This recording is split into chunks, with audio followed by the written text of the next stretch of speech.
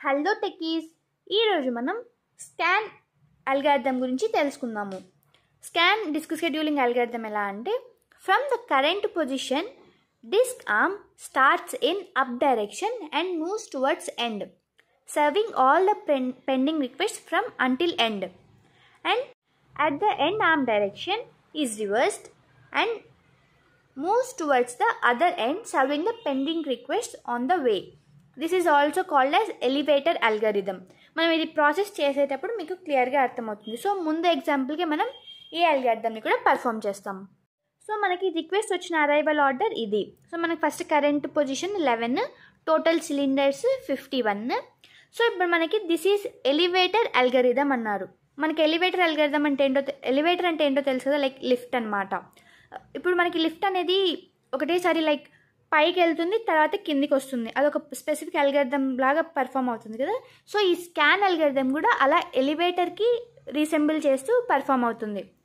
So మనకి first eleven దగ్గర ఉంటే ఇది ఎలా పర్ఫామ్ అవుతుందంటే ఫస్ట్ దీనికి రైట్ సైడ్ రైట్ సైడ్ అంటే మొత్తం టాప్ వరకు టాప్ వరకు అంత వెళ్తూ ఉంటుంది.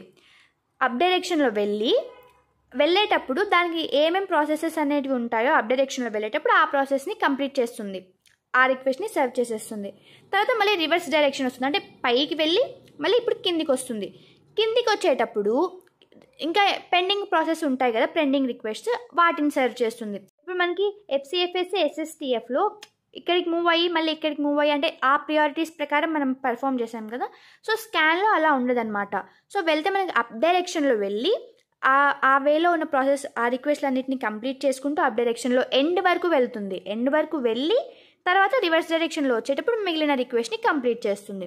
సో ఇప్పుడు మనం మనకి ఇచ్చిన అరైవల్ ఆర్డర్ ప్రకారం ఇది పెర్ఫామ్ చేస్తే ఫస్ట్ మనం లెవెన్ దగ్గర ఉన్నాం. సో ఇప్పుడు మనకి అప్ డైరెక్షన్లో వెళ్ళాలంటే ఇట్లే ఇలా వెళ్తాం కదా.